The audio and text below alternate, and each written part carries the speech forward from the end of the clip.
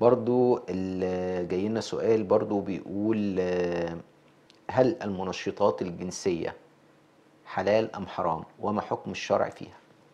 آه، طبعا حرام آه، قولا واحدا. إلا إذا كانت هناك باستشارة طبيب. يعني إذا أعطى الطبيب لهذا المريض لأنه آه، حتى لا يقصر في حق زوجته فالطبيب أدرى وأعلم. لكن إن إن الشخص ياخذ منه لنفسه كده المنشطات لا قد هذا قد ب- بنتائج عكسية. مم. آه، وبدلا من أن يكون لديه الرغبة والقدرة والنشاط آه، تأتي بالعكس. فبهذا يكون قد هدم حياته آه، الزوجية. و- ولذلك ترك الأمور على طبيعتها أفضل بكثير من أخذ المنشطات وما إلى ذلك. يعني المتداول في الصيدليات فضيلة الشيخ بنلاقي في الصيدلية في ناس بتروح تشتري بعض المنشطات ال- بأسماء متداولة يعني نعم. وأسماء ديت. هل ده يعني لا يجوز أو من الزوج؟ خلاص في بعض الأزواج ما بتقدرش تقيم العلاقة الزوجية إلا لما بياخد هذه المنشطات. نعم. فدوت نقول له يعني يلجأ لازم إلى الطبيب. يلجأ للطبيب الأول نعم. وهو اللي يكتبها له. آه إذا إذا إذا أشار عليه الطبيب بأخذ مثل هذه الحبوب أو هذه المنشطات آه، يبقى يبقى في هذه الحالة يتحمل ال- الإثم أو يتحمل الأجر ال- الطبيب مم. إنما ليس من حق الرجل أو آه، المسلم أن يأخذ هذه المنشطات منه لنفسه كده.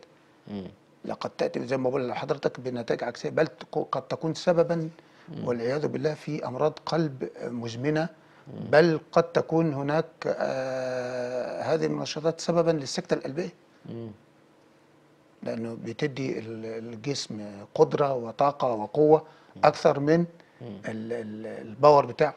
فبتكون النتيجة بتيجي نتيجة عكسية فلذلك يجب على المسلم أن يكون فطنا لهذا الأمر.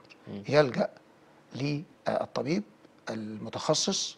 زي ما ربنا قال فاسألوا أهل الذكر إن كنتم لا تعلمون. مش بس في الدين لا في كل المجالات آه، ال- الحياتية التي نعيشها. تمام. طيب جاي لنا سؤال برضو آخر بيقول حكم من يقبل أولاد خالته الكبار؟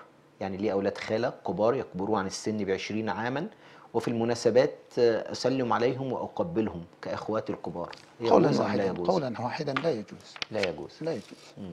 درءا للف... للف... للفتنة والفساد وما إلى ذلك. يعني أنا أنا قد أتحكم في نفسي وقد لا تكون لدي آه، يعني نية سيئة ولكن لا أعلم من آه، أعامله أو هل هو بنفس الدرجة أم لا. فترك هذا الأمر أفضل طبعا بلا شك لأن يعني نهانا رسول الله صلى الله عليه وسلم عن ذلك ولم يعني يصافح النبي صلى الله عليه وسلم امرأة تحل له قط. يعني آه، كل نساء الدنيا لم يمس النبي صلى الله عليه وسلم امرأة تحل له إلا زوجاته صلى الله عليه وسلم ولنا في رسول الله. الأسوة والقدوة